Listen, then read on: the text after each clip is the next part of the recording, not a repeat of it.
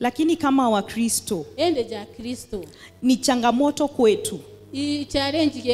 What are we saying? Where is our trust? Trust yetu ineri tumtumainie mungu tumweregere mwathani with all. Na byonthe kila kitu. Byonthe do not trust half. Ukeregera nusu. I will give a scenario. Nkaeza na in a real life. Ye maisha jetu ja kawaida where we work in your business ke biashara ciaku you have either you have workers or you are a worker yourself. Maybe no ithirwo wire bara wandikite kana nya wego wango wandiki and many a times magite ja maingi you will look at your workers or your boss will look at you and they will say, This person is trustworthy. This person I can trust. Because maybe you do your assignments right. Maybe you deliver your, dead, your targets on time and so many other earthly factors. But our god is beyond.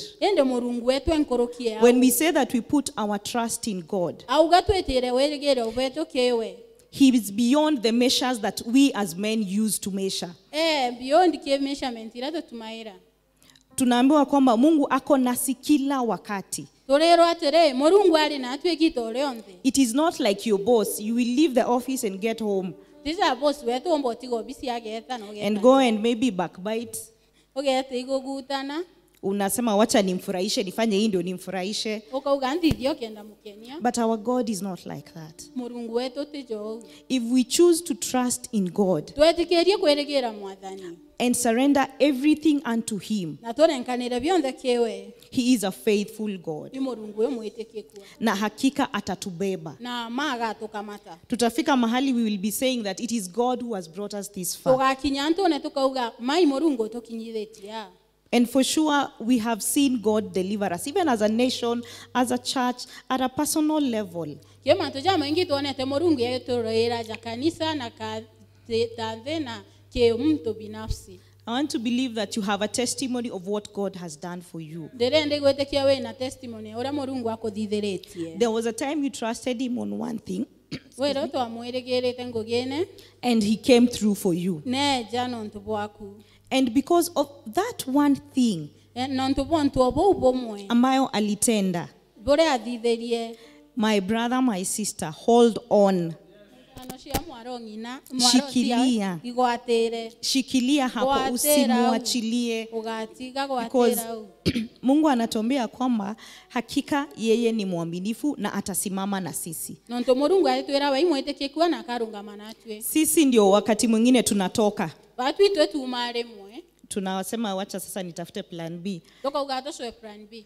Kenyans we are so used to that. Akenya itũmenyeretie bũu Hii- wacha nijaribu hii. Tigangerie bũ if it does not go through twarega igwita ngũgĩ plan b iko? Ncokege plan b. Na c na d. Na sina ndĩ lakini trusting god we need to do it 100% ũbati kũthithia bũu 100 100% ĩgana kwegana and if there was 101 then that would have been the na best. kwethwa kwĩnegana na ĩmwe bũu ibu the best. So uh, allow me now to define what trust is. Amperesere gwĩtĩkia mũrungu imbi is a firm belief in the ability on someone. A firm belief on the ability of someone or something. Wĩtĩkio bũnene kĩ mtu kana kĩ gĩntũ and in our case we will talk about someone because we're talking about our god. Kanyene getu tukaria kuhusu muntu nontu turiaria kuhusu mũrungu so we are saying that trusting god is having a firm belief gũtoriuga gwĩtĩkia mũrungu ikwithirwa twĩna wĩrĩgĩro wĩrĩgĩro bũritũ kĩ mũrungu yes, to our god. And when we have that firm belief na twĩna wĩrĩgĩro bũu bũritũ then we will not be swayed. We will remain grounded. Tũkarũngama tũgwa na inya. We will be rooted in him irrespective of what is happening around us. Ĩtĩo makanimbie gũtendeka ndee na nderea Uh, so we're going to look at a number of people in the bible bibilia. that trusted God. And as we're doing this, let, it, uh, let us try and uh, think. Ingekuwa ni mimi hiyo time ukethirwo inie gita riu ri ningefanya nini? ndirithithia atia And the first person we're going to look at is Noah. mtu wa mbere tugatega inoa Noah? noa uh, was in a family setup just like we come from. arĩ gĩ bamĩrĩ nja kĩnja ojora tumĩte And one day God tells him, na rĩmwe ntuku ĩmwe mũrungu akamwĩra I want you to build something. nkwenda waka gĩntũ These are the dimensions. This is the wood that the type of wood that you will use. ĩiyo mpawĩra tũgatũmĩra And Noah takes an action. And as he was doing that, he really got a lot of questions and rebuke from the friends. Wondering, what is this you now building? Mbona? Nĩkĩ In our day to day life utaulizwa, ai, hii ndio umeamua, mbona? Si uende ingine. thai ũkorwe bũi bobanga ũthithio tũthithagia bũrĩa bũngĩ But because he's trusted in God ĩndĩ nontu neregerete mwathi and he took God's word to be final, na nejũkĩrie ruteto rwa murungu kwithwa rwa mwisho. he obeyed. And the Bible tells us that immediately when he finished constructing the ark, the rains came. And there were floods. If it were you at that time, would you have taken the instructions? instructions? Ama ungesema, hii mwaka mvua ijanyesha. kana leuga ah, mwaka jo mbura ĩtiura. Sasa kwa nini nitengeneze kitu ya ati mvua inakuja?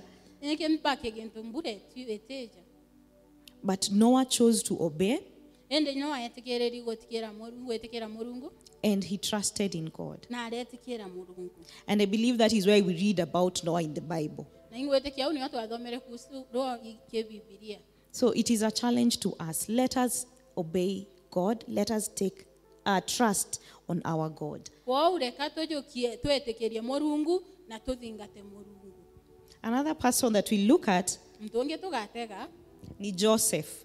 joseph Joseph grew up in a family again, just like we have. joseph akũrĩire gĩ family And uh, we are, uh, he was, we're told he was a last born. mwana Na alikuwa na character na character. yenye the brothers didn't like. batenda They were wondering, ai sasa huyu naye in our current day tungesema ako na kierere sana. barikaraona thai tũrĩthũgania na kĩerere But there was something about him. There was something about Joseph that he had to guard and protect, irrespective, bila kujali vile ndugu zake walikuwa wanasema. It got to a point the brothers decided, uh, oh, mtu wacha tumpeane. He goes, becomes a slave.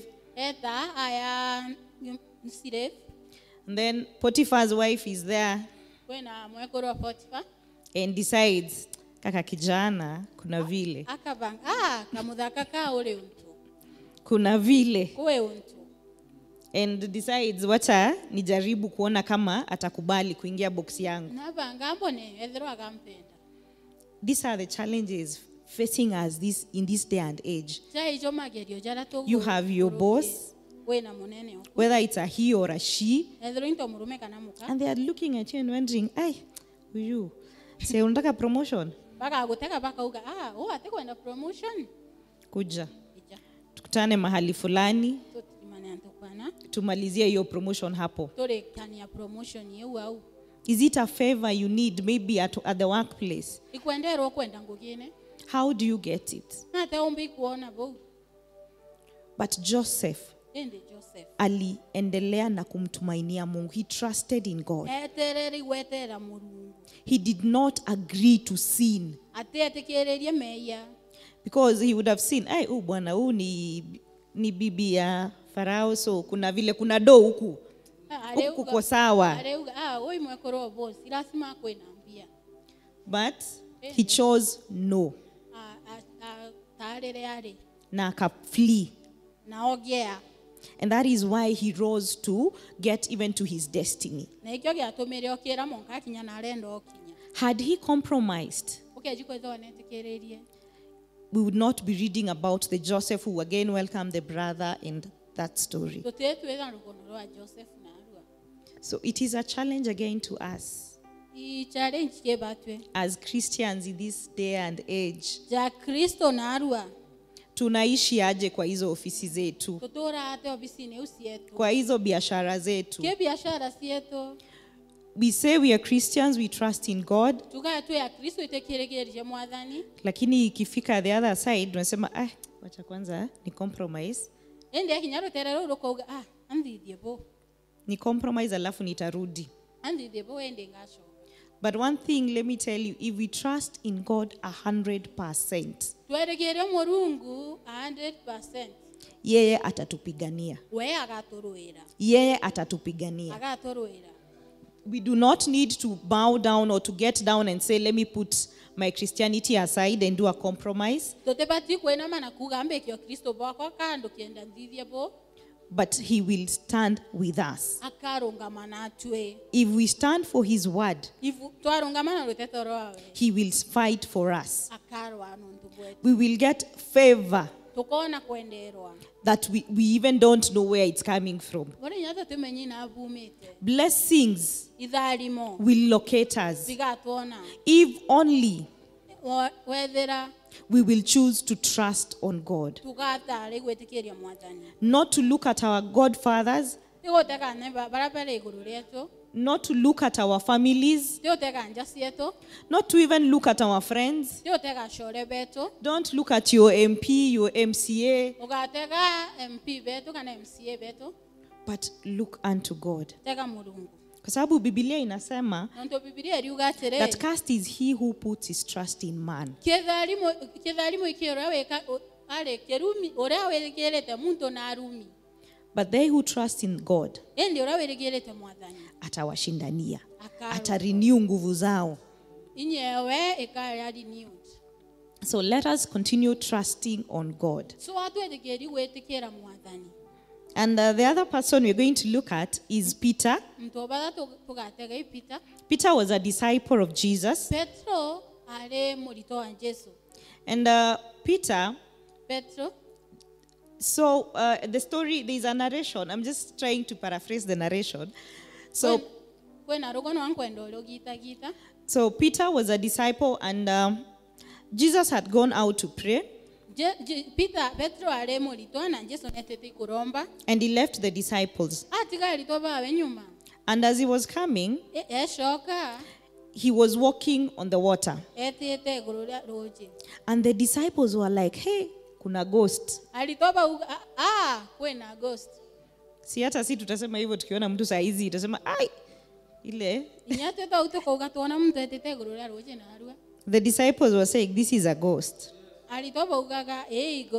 But uh, Peter decided to take a different turn. And he said, If it is you, Jesus, tell me to walk. And he decided to walk on water. That is why, up to today, we learn about the miracle that Peter walked on water. But there was peter got to a point and started doubting. And the minute he doubted riria njiri iko doubt. he started sinking. Ara njiri kuorokera he started sinking. And uh, thank god that uh, jesus rescued him very fast. Cokere murungu ngatho jesu amuokoere haraka muno but uh, imagine in our day-to-day life. Endi imagine narua you have trusted in god ndirĩ kũtonyana but along the way kakitu tu kadogo. kadogo tu. Kanini. Mdosi anakwambia ai hapa lazima ufanye one two. Which is a compromise. And you give in. same case the way peter did you Oh. give in o o ta ũrĩa peter athithĩrio ũgetĩkia And uh, the minute you're giving in, you're doubting, you're saying that I huyu jamani alinisaidia hii deal nikapata. na wetĩkĩrio ukauga njama no ntetherie ndona ndiwe It is him who helped me get this job. no ntetherie ndona ngũgĩ And you forget that you had trusted God. no wetĩkĩrĩtie mwathani And we forget that it is God who did it for us. Ũrĩa ũkũthithĩrie no And we, st- we also start sinking. We start going down. We start going down and down and down. So it is a challenge to us. kwao wicare njikĩbatwe How many times have we said that I trust in God just as a statement? maita jang'ana tugĩte twĩtĩkĩtio mũrungu okuga akĩ But it should be more than a statement. Ibo bati kwethirwo bwĩmo ja kuga akĩ It should come from within you. bobati kuma ndeneku It should be something, a conviction right from within you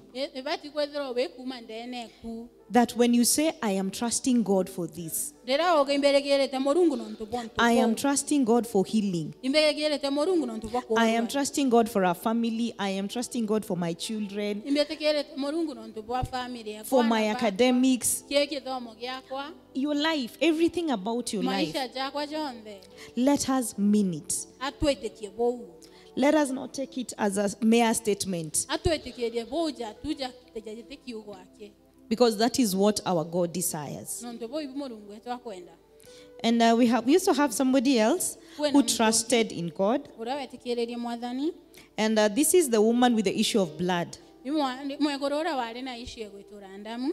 And this lady, we are told that she had suffered, visited all doctors. Inawezekamana ingekuwa ni sahi angekuwa ameenda India amerudi ũkethĩrwo inarĩ ethĩrwo etire indi acoka. Ametazunguka mahospitali zote, Kenyatta gani gani zote. athiũrũka cibitari cionthe kenyatta cionthe Basi. Ametumia kienyeji, atumĩra kienyeji. Imekataa. na But he dis- she decided, she made a resolve arabanga. that I will just go and touch the hem. Do you imagine the faith this lady had? And the trust? Because as, even as you seated, if somebody were to touch the hem of your dress or, or your trouser, it would even go unnoticed.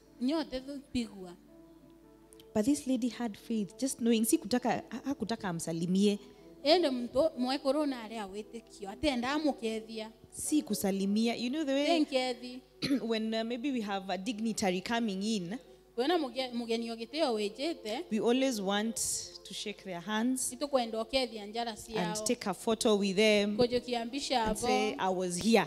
na kuuga ndĩ arĩa So that as you go out, you'll be saying, tulikuwa na nani. kienda nkiuma mbuga itũ arĩa so and so. Hakutaka hiyo. atenda au All she decided, all she resolved was just to touch the hem. Because alikuwa amesikia huyu mtu anaponya, ana nguvu za kuponya. And this lady decided, if only I touch the hem of his garment, then my problem will be finished. Thĩna ciakwa ikathira Ugonjwa wangu utapona. mũrimũ njwakwa jũkathira And true to her faith and her belief, na manontu bwa wĩtĩkio bwawe na kĩrĩa ĩtĩkĩtie we are told that the min- immediately, immediately she touched the hem, atongere nguo ĩu the issue of blood stopped. thĩna ĩyo etharika ĩrathira And Jesus turned and started asking, Who touched me? Na jesu ara- aragaruka araoria no nto- ũrantonga And the disciples were like, Ai, kwa hii crowd yote. na alitoba arauga ai kente kĩa Si watu wanaguzana guzana tu. kĩantu babo ntu gatoka potongana tonga And they would just they were just dismissing it. na barega But we're told that Jesus felt power. ende turerwa jesu naigĩrue inya Leave him. yamũtiga And it, the woman was told, na mwekũrũ arerwo atĩrĩ Go, woman, ĩta mwekũrũ your faith I- wĩtĩkio bwaku has healed you. and you're whole. It is not just the issue of blood, it was being whole. Whole yani kila kitu chake kimeregeshwa. Uponyaji ile mali alipoteza yote. Akizunguka akitafuta matibabu. Iliregeshwa. And it is only because na nĩ ũntũ rĩ she chose to trust in god. Netikĩrĩrie gwetegera mũrungu she chose to trust. Netikĩrĩri ikwĩrĩgĩra mwathani. Remember we said that trusting is just having a firm belief. Wĩtĩki kwĩthĩrwo wĩna wĩtĩkio bũnene a firm belief. She left her house atigĩre nyomba ĩwe believing that the minute i will touch the hem ndagwata nguo ĩwe i will be whole. How i pray that we would have such trust on this god. Ũrĩa nkũjicaya wĩthĩrwo wĩna i- wĩtĩkio bũu kĩ mwathani. That we will not labor have sleepless nights. Atĩ tũtĩkaga toro kana tũng'ang'ana wondering how tomorrow will be tũkĩthigara ũrĩa rũciũ gũkethĩrwo gũkari but we will only trust eh, on him. we will put our hope and trust in him. And because if we do that nontũ twathithia ũu he is a faithful god. I mũrungu ũmwĩtĩkie kuo yeye ni mwaminifu. Wai mũrungu ũmwĩtĩkie kuo atatufikisha. Atatufikisha to our desired destinies. Na arĩa tũkwenda ũkinya let us not doubt let us not doubt. Let us put our trust a hundred percent. Atwĩke kĩ gwĩtĩkio bwetũ ĩgana kwegana a hundred percent. Percent we used to be very excited in primary when you got a hundred percent. Itwakenaga mũno rĩrĩa twareana twagwata egana.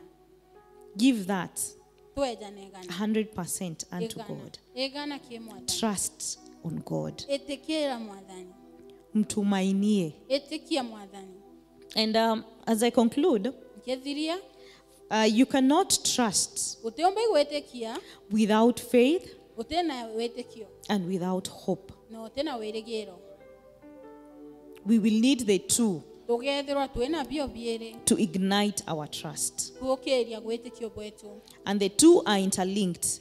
Na bionthe ibibie. Usually we are told that um, uh, now faith is faith is a substance. Is Hebrew, hebrews 11 Hebrews 11 1 now faith is the substance of things hoped for. Thank you. Now faith is a substance of things hoped for. The evidence of things not seen and we're saying that for us to trust in god tũriuga kĩbati gwĩrĩgĩra mwathani. we will need to have faith. Tũkethĩrwo twĩna wĩtĩkio and we're told that faith na tũrĩrwo atĩrĩ is substance of things hoped for. Kwĩ mantu jaria jerĩgĩri hope when it is tangible we are calling it faith wĩrĩgĩri ũrĩa bumba ũtongeka gwĩtawa wĩtĩkio and without that faith and hope we will not be able to trust on our god. No kethi kwĩthĩrwo ũtĩna wĩrĩgĩri ona wĩtĩkio tũmba kwĩrĩgĩra mwathani so let us let it be a challenge to us na wĩthĩrwo wĩ challenge kĩbati that we will activate our hope tũkomba ikũ activate wĩrĩgĩro bwetũ so that our faith kenda wĩtĩkio bwetũ will be raised also and we will trust on god. Na a hundred percent. A hundred percent. Usikuwe na plan b. And if you decide to go the plan b way no plan b. then wacha ng'ang'ana kwanza. Ng'ang'ana na jitafutie jisaidie kidogo. Sitethia janare then uone utafikia wapi. Wone ũgakinyana you will not go far. Ũtĩũmba ũkinya kũraja but if you choose to trust in god ĩndĩ ũbanga igwĩtĩkĩra mwathani if you choose to trust in god wabanga igwĩtĩkĩra mwathani then your things shall be okay. manto jakethirwa jesa sawa. Your life shall be well. maisha jaku jakethirwa jesa sawa. It shall be well with you ukethirwa wesa sawa nagwe and your household. So it is uh, my prayer this morning that we will leave this place learn, having learned how to trust on God kwou ndi na wirigiro tukauma kantu an- kanyene ka tubangitie kwitikira mwathani and we will not doubt. That when He says we are healed, we will go by it. When He says that we are at the top, auga twe iguru we shall be the head. twetho twi mutwe That is what we will choose to believe. It does not matter, it may take long, no bujukie gitari raja it may tally, no different. But surely, surely, it shall come to pass. It, in our own uh, calculations, kie masabu jetu we might want it to be today, no tutake bwithirwo bwitha we might want it to be by Christmas, no bwithirwo tugete i christmas. But God knows the right time. ĩndĩ mũrungu naije igitare All we have to do bũrĩa tũbatere ũthithia is to continue trusting on Him, trusting on Him. A hundred percent. As uh, finally, finally, kindly Ĩthiria gi- buru give us Psalms 125, twe psalms 125 verse 1.